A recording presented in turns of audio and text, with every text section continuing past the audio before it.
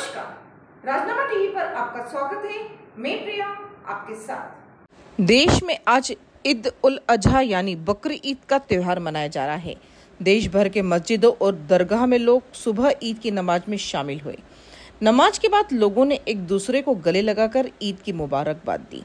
नमाज़ के बाद कुर्बानी का सिलसिला शुरू हो गया। प्रधानमंत्री नरेंद्र मोदी ने ट्वीट कर ईद की मुबारकबाद दी। उन्होंने लिखा, ईद उल अजहा के मौके पर शुभकामनाएँ। उम्मीद करता हूँ कि ये दिन सभी की ज़िंदगी में खुशी और बरकत लेकर आए। ये दिन हमारे समाज में भाईचारा और एकता बनाए रखे।